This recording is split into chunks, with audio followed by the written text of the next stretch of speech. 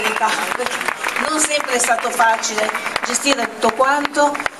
Vogliamo dare un saluto anche a coloro che non ci sono, i danneggiati che non sono riusciti a partecipare visto le loro condizioni di salute. Fra questi vogliamo ringraziare, soprattutto vogliamo mandare un saluto particolare a Thomas, a sua moglie Diana e al piccolo Nicola. Ciao! Ciao Nicola, piccolo principino. E soprattutto vogliamo salutare coloro che invece ci vedono, anche se non sono materialmente qua tra noi, che sono i nostri figli, purtroppo deceduti a causa delle somministrazioni vaccinali. Ciao Angeli. Ciao di cuore, veramente. Grazie per esserci vicino tutti i giorni, anche se la vostra perdita non potrà essere ricompensata con nulla questa giornata è anche per voi.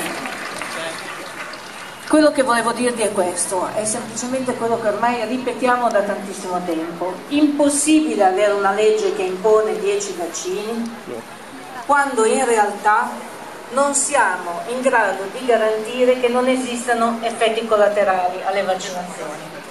Noi non siamo contrari, come continua a dire qualcuno, alle vaccinazioni in toto. Siamo contrari a questo sistema che ci impone di fare 10 vaccini in una volta, che ci dice che sono tutti innocui, ma soprattutto che mente dicendo che non esistono gli effetti collaterali. Se non esistessero noi oggi non saremmo qua, il Condor non sarebbe nato più di vent'anni fa, ma non sarebbe nata neanche l'associazione di Giorgio Tremante, neanche il Sentiero di Nicola, non sarebbero nate RAV, l'associazione Reazioni Avverse del Vaccino HPV, non sarebbe nata l'associazione di Sauro e tutte le altre associazioni che ci hanno supportato con Ilva, Corvelva, e altre associazioni che da sempre da dietro le riprese, delle persone del Vabbè, ok, cancella.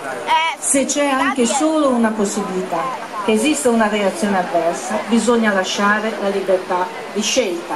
I genitori sanno qual è il meglio per i loro figli, nessuno vuole che un figlio muoia per l'amore